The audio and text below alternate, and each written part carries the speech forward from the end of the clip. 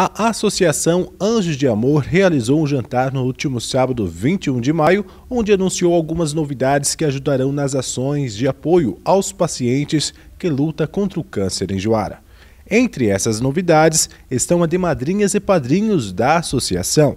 Como se diz, é nossa, nós estamos assim, uma eterna gratidão, né? Graças a Deus o jantar está sendo um sucesso, né? E todos que nós convidamos vieram são que nós esperamos ser os nossos padrinhos futuramente, né? Que a associação hoje está com um projeto de padrinhos, madrinhas, né? Então quem também tiver interesse de se tornar os nossos padrinhos e madrinhas, só procurar a associação.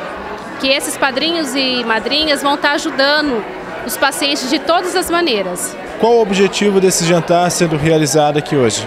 Então, nosso primeiro objetivo é agradecer todas as pessoas que aqui estão, são os nossos colaboradores que ajudam, né? Não só com dinheiro, mas aí nossas campanhas, com os nossos itens e produtos, né? Então, é uma, a maior mesmo desse jantar é o agradecimento por, pela ajuda que eles nos dão.